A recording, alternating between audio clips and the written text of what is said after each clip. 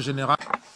On behalf of the General Assembly, I have the honor to welcome His Excellency William Samoei Ruto, President and Commander-in-Chief of the Defense Forces of the Republic of Kenya, and invite him to address the Assembly.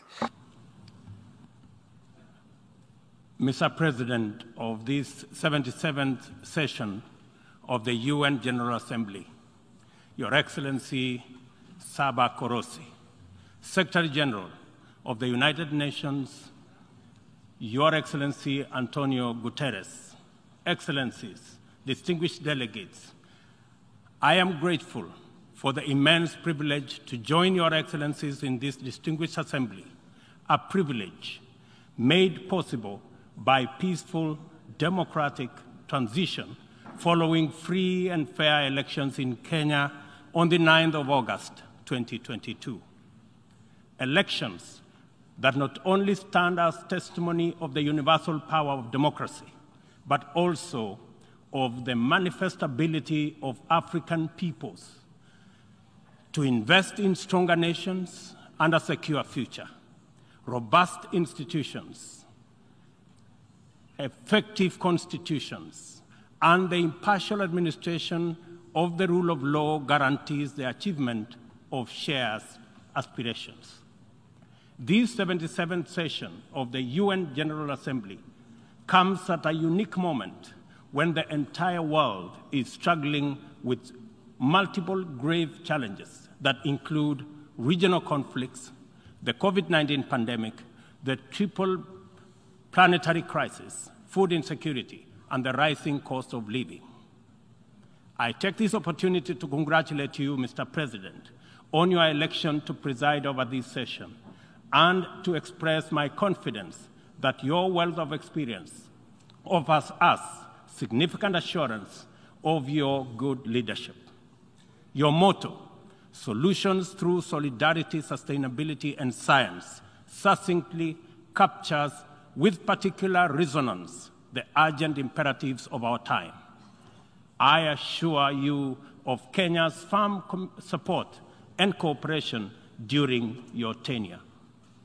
I further take this opportunity to commend your predecessor, His Excellency Abdullah Shahid, for his bold steps in steering the United Nations community and for ensuring its business continuity under the unprecedented circumstances occasioned by multiple global threats such as the COVID 19 pandemic.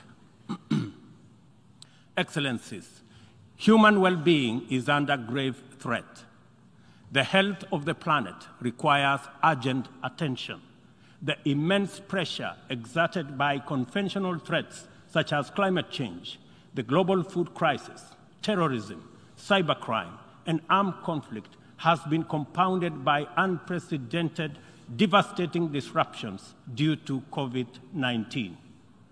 I express my approval of the theme for this session a watershed moment transformative solutions to interlocking challenges. Because of its boldly uh, signals, because it boldly signals the window of opportunity we now have to escalate our engagement from firm consensus to decisive action. In many respects, the COVID 19 pandemic stripped us of many illusions and exposed stark justice and solidarity deficits in the face of existential crisis. It brought into sharp focus the global economy's two lane highway, repressively patrolled by a rising tide of exclusionist nationalism. A specter that undermines prospects of collective action and significantly impairs the resolve of the international community to guarantee fundamental rights, including safety and dignity of the world's vulnerable majority.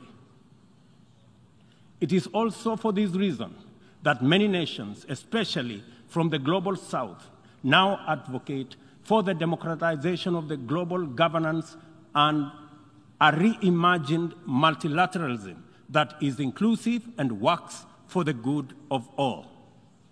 Kenya stands ready to work with other nations to achieve the, Pan, the Pan-Africanization of multilateralism and a more just and inclusive system of global governance. It is important to reflect on these matters as we do our best to get our people, enterprises, and industries back on their feet so that the engine of development can power our societies towards prosperity that actually leaves no one behind. Building back better is the universal rallying call to incorporate lessons learned into doing more in a better way to cover to recover from the shock.